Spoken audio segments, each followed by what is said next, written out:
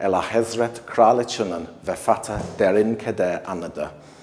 Onun itkisi bütün dünyada çok sayılı insanla tarafından derinden his olunacak. 96 yıllık ömrü ve 70 yıl en uzun hükümdar monarkımız kimi o sebili tevazoka fedaha hidmeti tecessüm ettirib.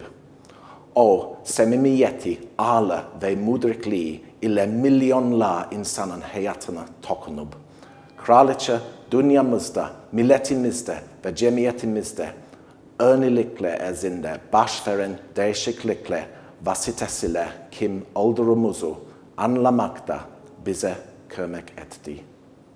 Allah mehrum ela Hazret Kraliçe 2. Elizabeth'e rahmet etsin.